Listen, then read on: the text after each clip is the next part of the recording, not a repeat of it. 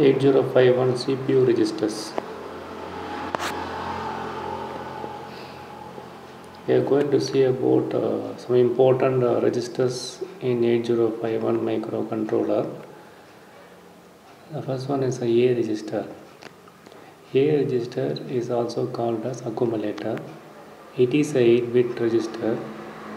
It is used to store the data temporarily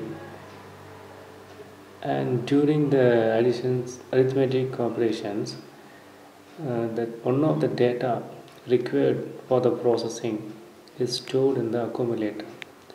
After the arithmetic and logical operation the final result will also be stored in the A register.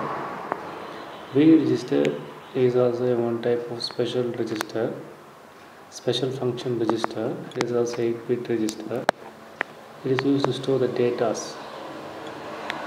temporarily. R0 to R7 is a registers inside the internal RAM of 8051.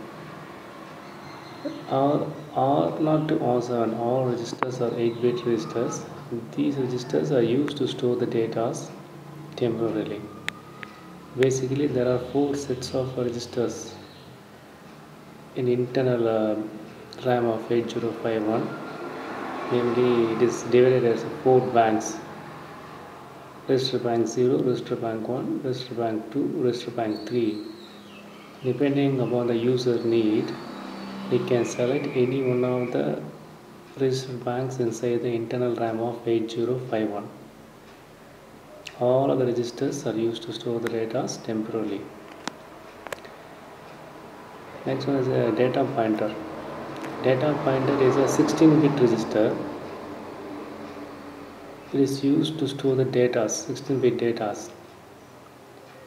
Sometimes we can use a data pointer as a 2 8 bit registers when we are using data pointer as a 2 8 bit register we have to referred as DPL and DPH. DPL is data pointer lower, data pointer higher as a 2 8-bit registers.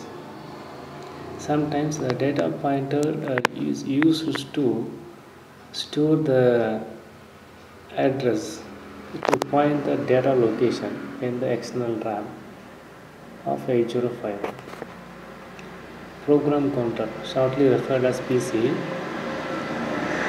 program counter is used a 16 bit register it is used to store the address of the next instruction to be executed by the microcontroller. The last one is a stack pointer. The stack pointer is 8 bit register in 8051 it is used to point the top address of the stack. The stack uh, is a portion of RAM inside internal memory of 8051 it is used to store the data temporarily. A stack pointer used to address the top address of the stack. Thank you